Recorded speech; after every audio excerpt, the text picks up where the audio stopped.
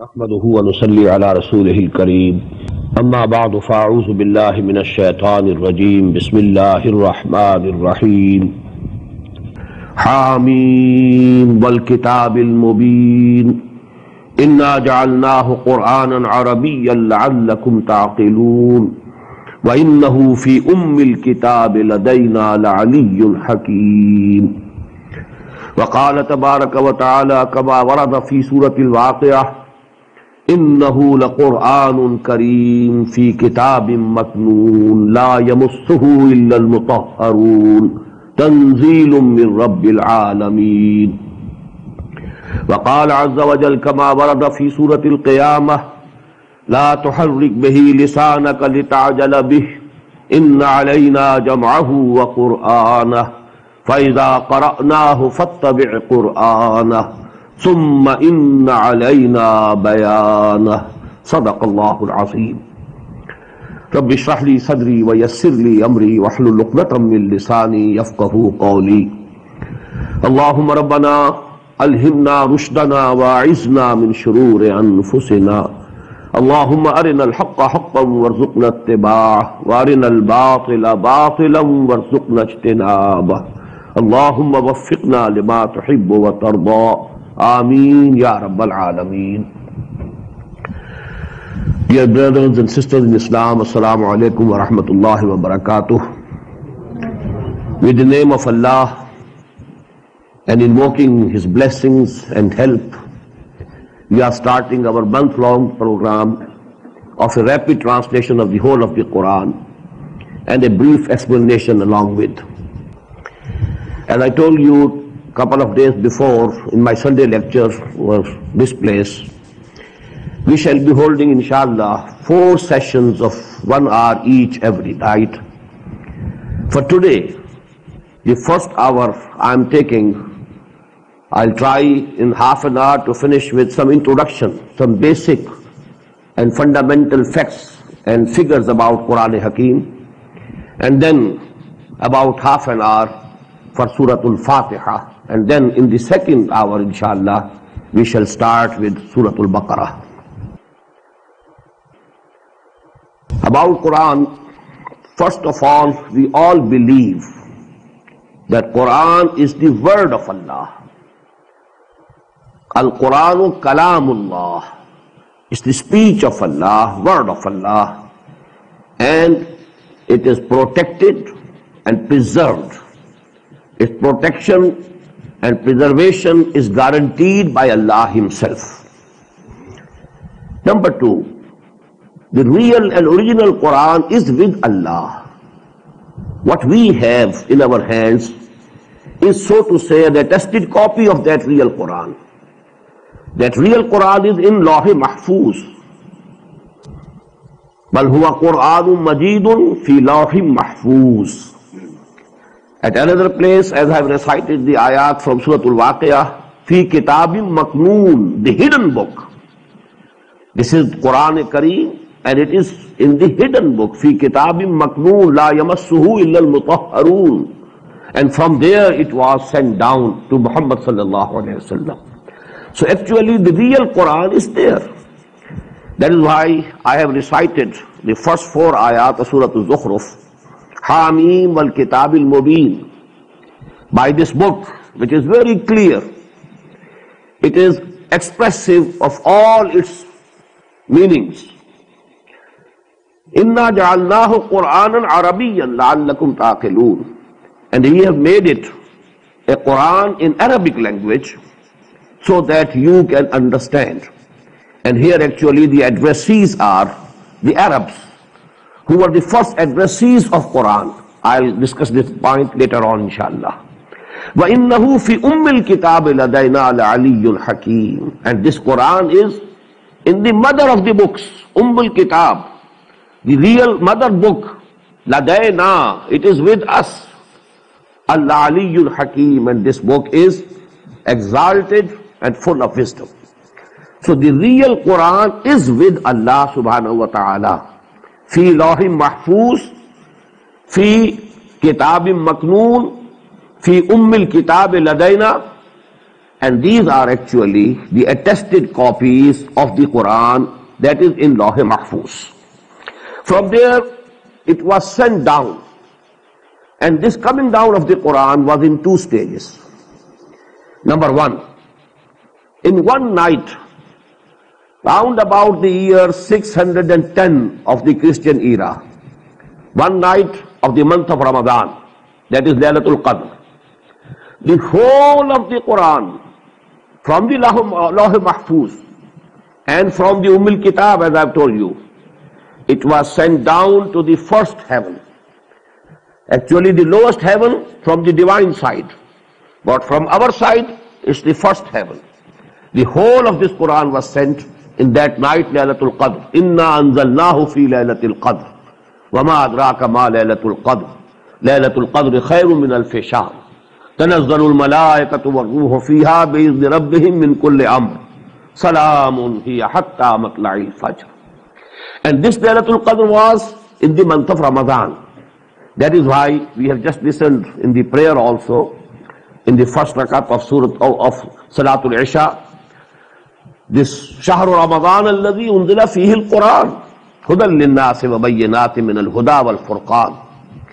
For this first coming down of the Quran, the verb that is used in Quran is anzalna. Anzala yunzilu inzalan. Because this means one piece suddenly sending down something something at one time one piece so the whole of the quran was sent down from that Lawh Mahfuz, from that kitabum matloon from that ummil kitab to the first heaven now that is second stage was that from there it was sent down to the heart of muhammad sallallahu alaihi wasallam through archangel jibreel alayhi salatu wasalam and it was bit by bit, ayah by ayah, surah by surah. And it took 22 long years in the complete revelation of the Quran to Muhammad sallallahu alayhi wasallam. And who was Muhammad sallallahu alayhi wasallam? We all believe he was the last prophet of Allah subhanahu wa ta'ala. But here I want to mention, he was from the progeny of Ibrahim alayhi salatu wasalam through Ismail alayhi salatu wasalam. And you know the his tribe, Quraysh, that was that belonged to the progeny of Ibrahim and Ismail alayhi salatu wasalam. And they were settled, you know, being Ummul Qura, that is Makkah al-Mukarramah. So there actually, that is the place where Muhammad sallallahu alaihi wasallam was born in the year 571 of Christian era. And when he was round about 40 years, this revelation started to him in Ghar Hira, in the cave of Hira and that was the year 610 as far as we can assess and we can know. Now during these 22 years of the revelation of Quran, for about 12 years Muhammad stayed at Makkah. So the amount of Quran that was revealed during this period is called the Makki Quran, the surahs, Makki surahs, and it is round about two-thirds of the whole of the Quran. Then he migrated in the year 624, 622 to Medina Munawwara. And from thence till his death in 632, that is 10 years he stayed at Medina. But during these 10 years, he was making journeys for battles also. For you, know, battle of Badr. Then he had to go even to Tabuk, that is near the border of Syria. He had to go to different parts of the Arabian desert. So actually during this whole period of 10 years, the surahs and ayat of Quran which were revealed to him, sallallahu alayhi wasallam, they are called the Madani surahs. Although all of them were not revealed at Medina properly. Some of them were revealed in different places where he was on journey.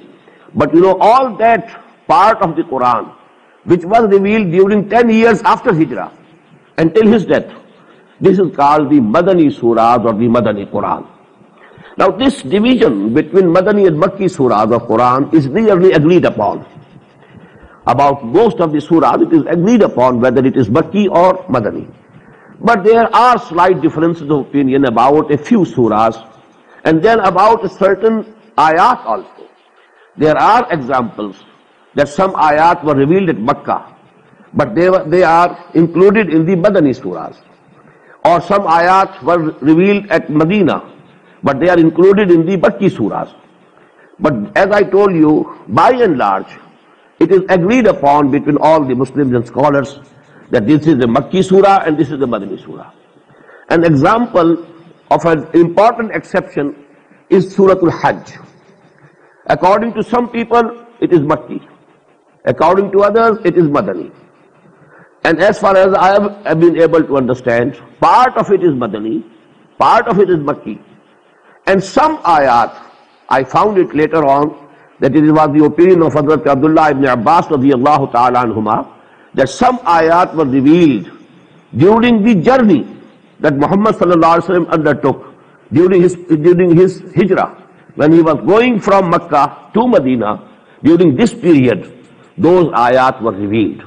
So this surah, so to say we can call, it is somewhere between Madani and Makki, Surah Al-Hajj.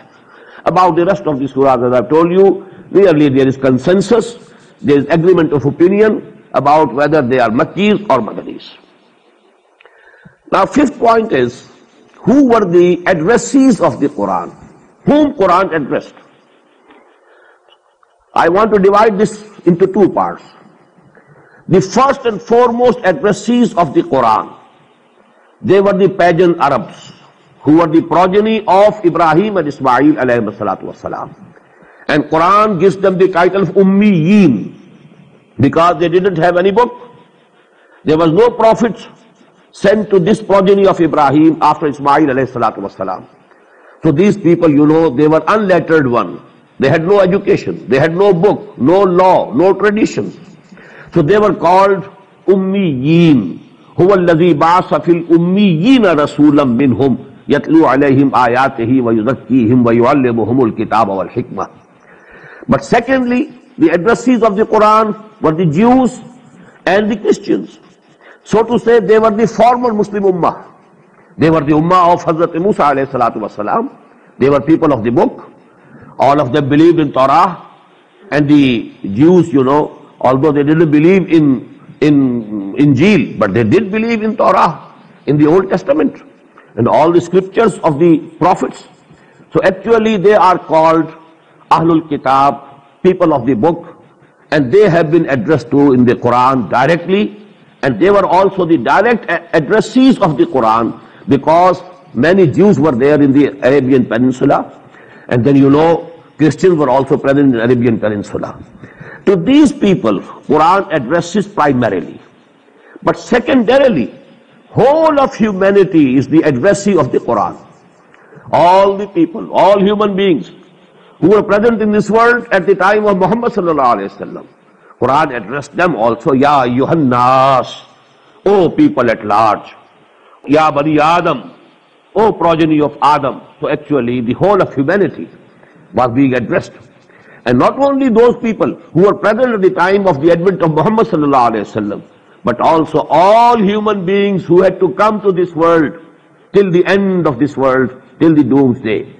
But they are being addressed, and they are the addressees, we may say, they are by proxy. To them this message has to be given and communicated by the Ummah of Muhammad. But the direct, you know, approach of Muhammad he addressed directly himself the pagan Arabs of the Arabian Peninsula and the Jews and the Christians of his time. The rest of the humanity, actually this was, this, you know, vision was entrusted to the Ummah of the Muslim, uh, of Muhammad sallallahu alaihi wasallam, that now it's your duty to preach and convey and, con and communicate this message of Allah subhanahu wa ta'ala to each and every human being till the end of this world.